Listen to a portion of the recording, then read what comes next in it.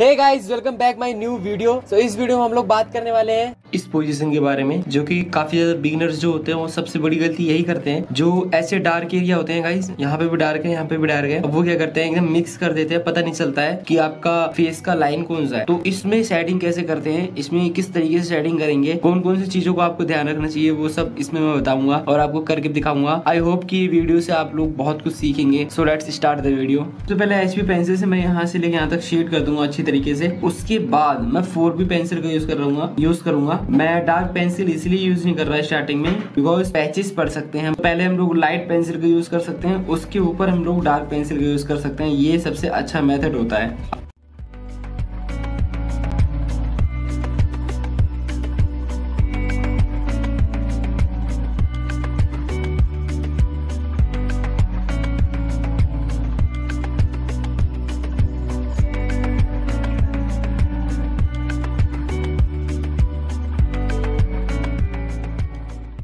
Guys अब मेरा shading तो हो गया है। अब मैं यहाँ पे जो शेडिंग करूँगा, जो यहाँ ये वाला एरिया है, हमेशा याद रखना, जो हमारे हमारे गाल की जो लाइन होती है नीचे वाली तो इस लाइन से यहाँ तक एटलीस्ट यहाँ तक आपका इतना ज़्यादा डार्क होना चाहिए, इससे भी ज़्यादा। कभी भी आप अपने फोटोग्राफ में एकदम ध्यान से देखना तो ये लाइट लगेगा बट ये बहुत ही ज़्यादा डार्क लगेगा, और आपको ये लाइन एकदम साफ़ दिख जाएगी। जब भी आप फ़ोन में जूम करके देखते हैं, अगर आप प्रिंट आउट से बना रहे हैं तो भी आप फोकस करो प्रिंट आउट पे तो आपको साफ़ पता चल जाएगा करना है।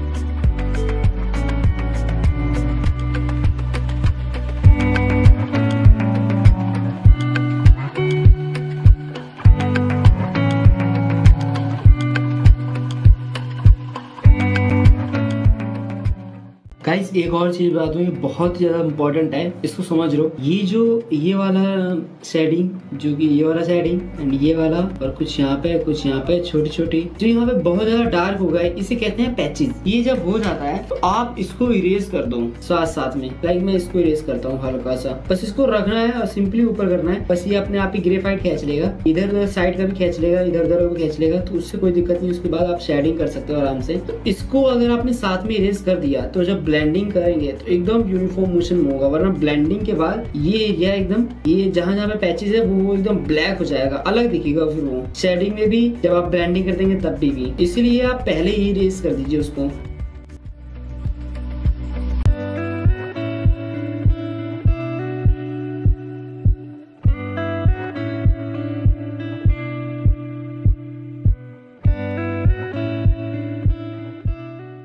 और गाइस कभी भी ब्लैक एरिया जब भी आपको ब्लैंड करना पड़ता है तो ब्लैंडिंग स्टैंड का यूज़ कीजिए। वन ऑफ़ द बेस्ट है ये ब्लैक एरिया के लिए। बिकॉज़ ब्लैक एरिया ब्लैक ही रहना चाहिए। आप टिश्यू पेपर या ब्रश से करते हैं तो वो बहुत ज़्यादा फैल जाता है। मगर ब्लैंडिंग स्टैम्प बिल्कुल भी फहराता नहीं है बल्कि वो जो ग्रेफाइट है वही वो स्मच कर देता है। इसीलिए मैं तो रिकमेंड करूँगा आप लोगों को जब भी, भी आप लोगों को ऐसा ब्लैक पोर्ट्रेट हो तो आप ब्लेंडिंग स्टैम्प का ही यूज़ कीजिए। ब्लेंडिंग स्टैम्प को चलाने का सबसे आसान तरीका बस आपका जिस तरीके से सेटिंग है उसी तरीके से आपका ब्लेंडिंग स्टैम्प चलना चाहिए तब बहुत ही अच्छा हो सकता है।